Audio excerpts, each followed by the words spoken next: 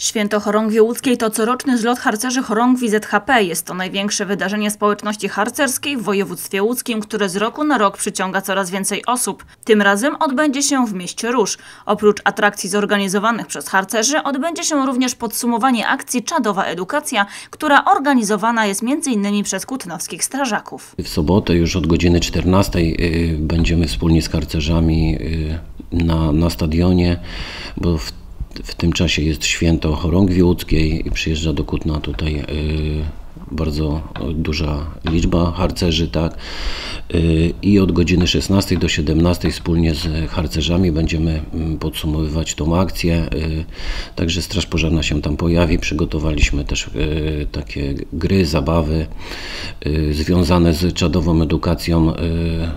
Tam wtedy młodzież gimnazjalna grała w taki quiz. y, więc również i w naszym namiocie będzie można e, zagrać w tą grę. Dla najmłodszych tradycyjnie malowanki i strażacki tor przeszkód. Zapraszamy serdecznie do udziału w podsumowaniu akcji. Sobota, godzina 16, Stadion Miejski.